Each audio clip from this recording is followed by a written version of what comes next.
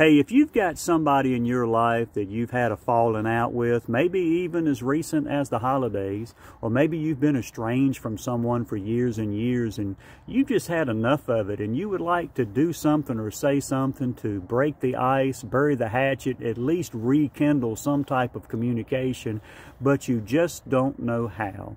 Why don't you make a comment in the comment section of this video? Don't address it to me, but address it to the person that you would like to apologize to or break the ice with or bury the hatchet. Tell them what's on your mind and what's on your heart. And then like this video, subscribe to my channel, and share the video to that individual. And hopefully they'll read the comment. What's the worst that can happen? It's worth a try.